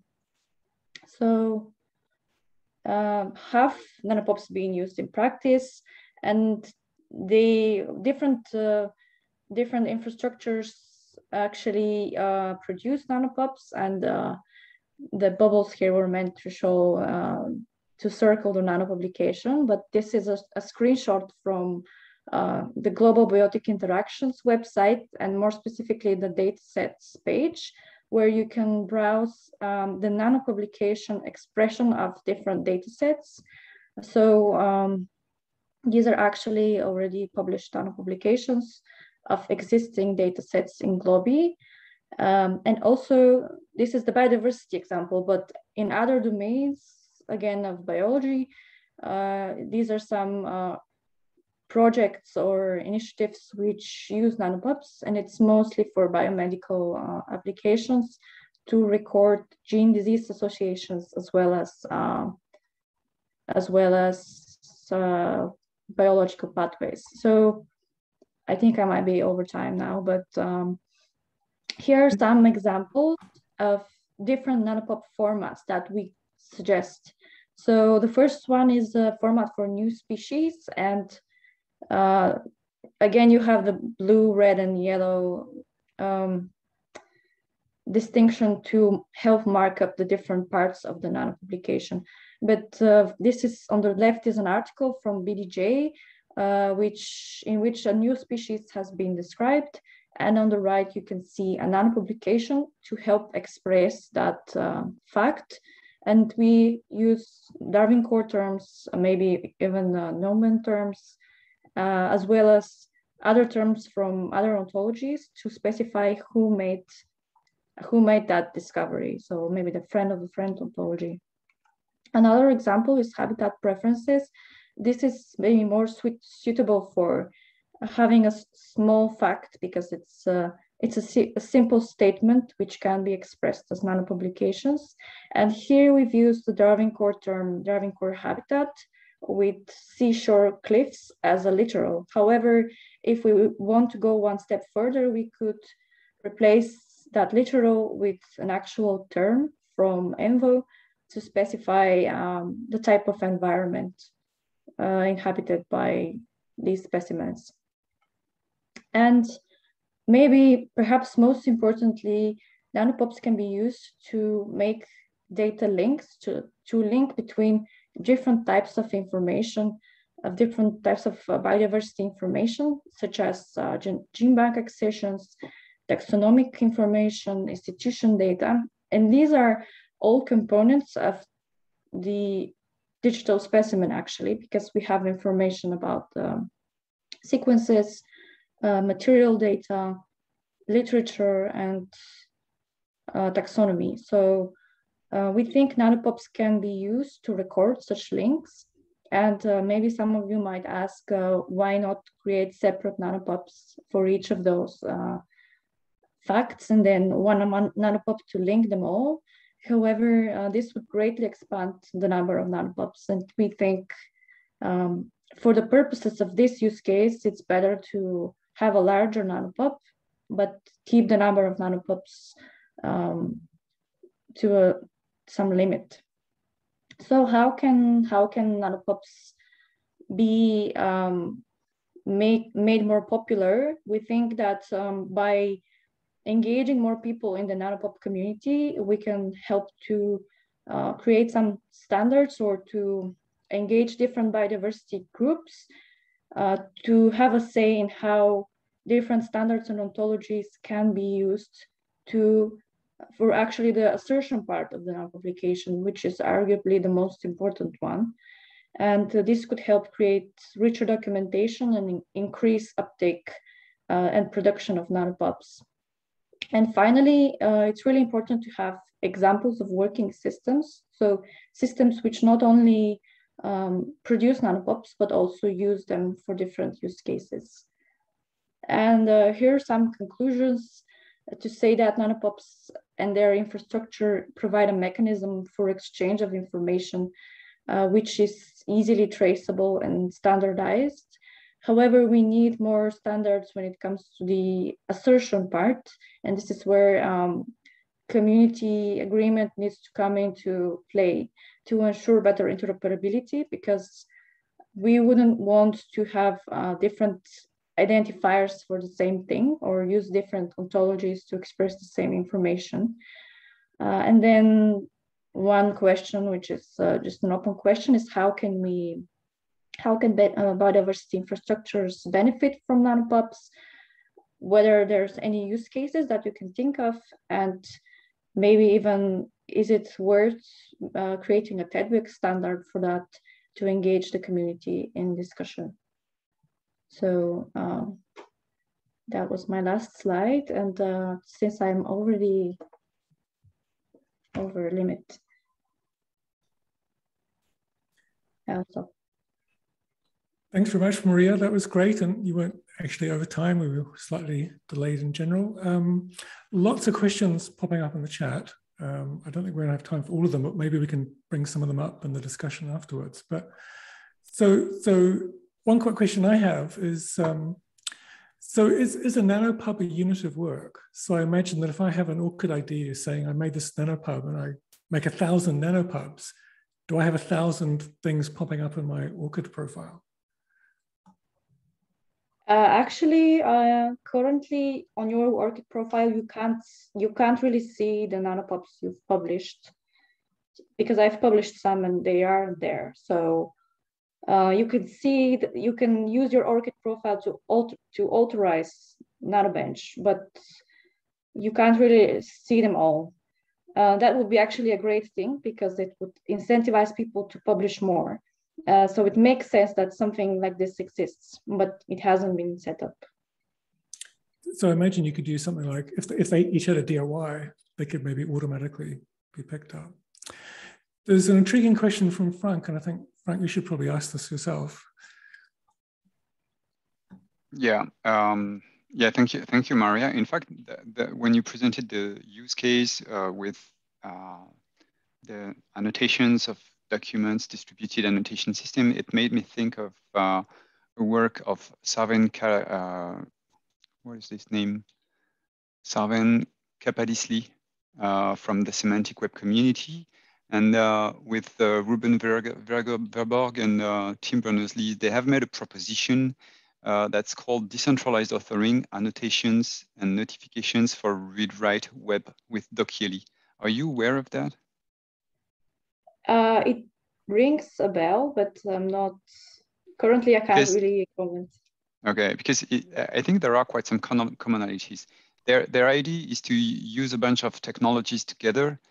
Uh, so the first one will be link data notifications that allows to uh, publish a notification about some some event. Uh, use the web annotations ontology to comment on some resource on the web a web ID to identify people, but not only to that, but also to sign uh, the, the notifications. And then all of those, this is distributed, is, is stored in a distributed manner using the solid um, uh, solid platform, the solid infrastructure based on the link data platform.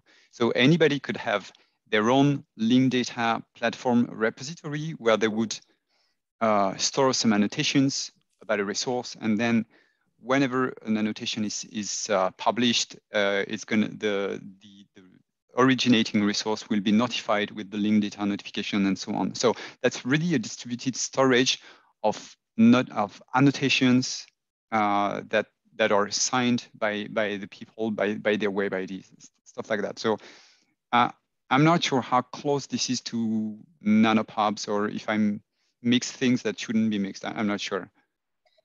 I think that sounds really close to nanopubs, and uh, they are de decentralized. So, um, and also you can use things like the grlc API to um, retrieve nanopubs which follow a certain pattern.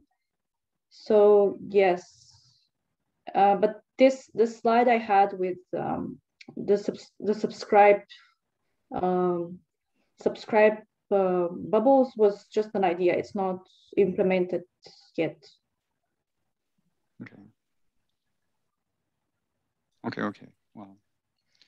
Anyway, if if later on you you I'll check it out. You, you read yeah. this uh, these papers, I can I can send you the the references. I, I would really be interested in your um your whole feedback about this. Yeah, I would love to. Okay. Great. Well, I guess that concludes the, the formal part of the, the session. I'd just like to thank um, all the speakers and everybody who um, took part. Um, so I think we actually still have about 10 minutes allotted in the timetable. So if anybody has any other further kind of questions or wants to make any observations, there's also a chance that the speakers um, want to sort of um, make some additional points or sort of maybe they've spotted any common themes. Um, and uh, so we can hang around for the next 10 minutes and chat a bit. Um, uh, for those in the audience who had more than enough knowledge graphs, thank you much for your time and attention. But we're here for the next 10 minutes and eager to discuss further. And uh, thank you to all my speakers for your very stimulating presentations.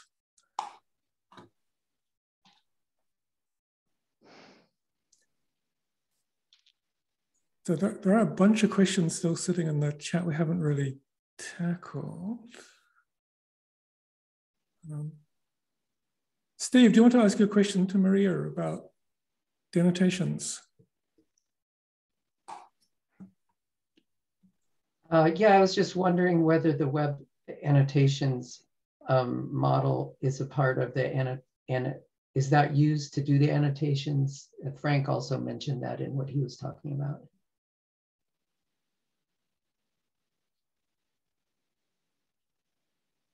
I didn't really get the question. Maybe I should read the, maybe I should read it in the Q&A because.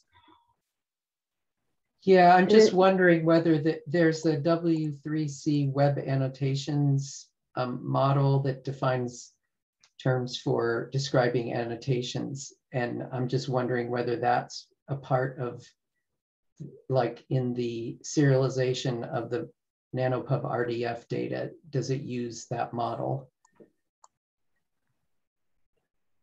I don't know. I, if, I, if I can say a word about this, I, I think in some use cases, it totally makes sense to use the web annotations ontology as the statements of the nano publication, but not all the time. So in the case of, uh, yeah, commenting on a resource, your statement, the, the, the, statement part of your nano publication would typically be using uh, uh, the web annotations ontology, but that's just one, one of many use cases probably. Yeah, I've recently seen different examples of even in the provenance part of the nanopub and the publication info, which are meant to be more standardized. I have seen different uh, usages of different ontologies to express uh, uh, the source of information or the date or so on. We've got a, a question just coming from David Shorthouse, um, which is addressed to everybody. What, recommended, what recommendations do you have for those busy developing ex digital extended specimens? Um, assuming we all know what they are, I'm not entirely sure I know what they are, but um, so do we have any recommendations for those trying to bring specimens online and link them to other data sets?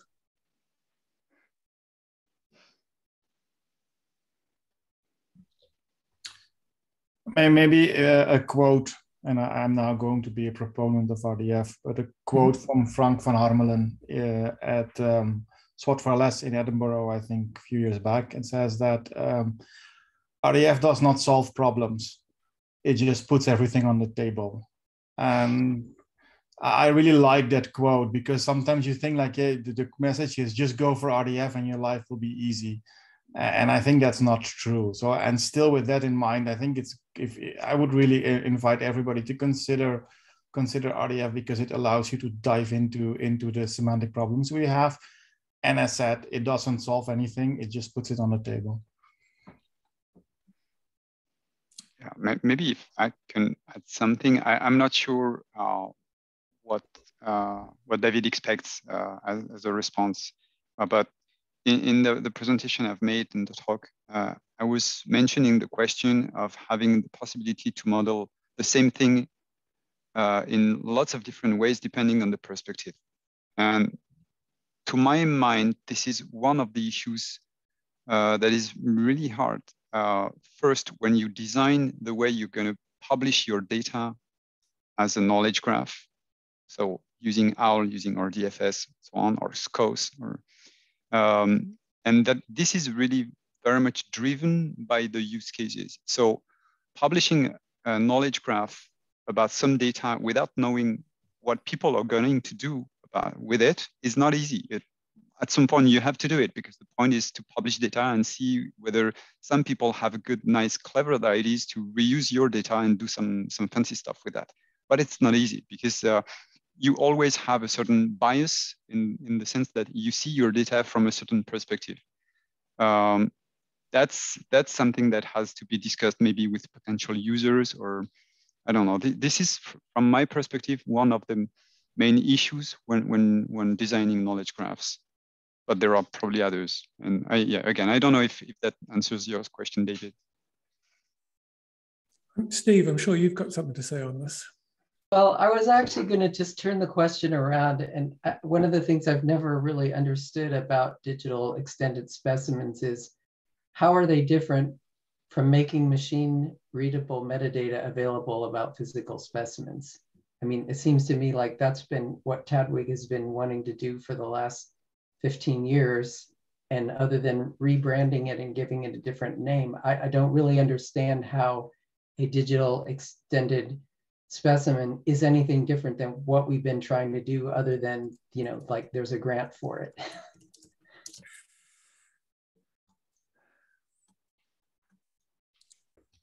So we just. I mean, I would also advocate making it into linked data because, you know, that's my bias. And that's what everybody says they want to do to link data. And RDF seems to be the standard way to do that.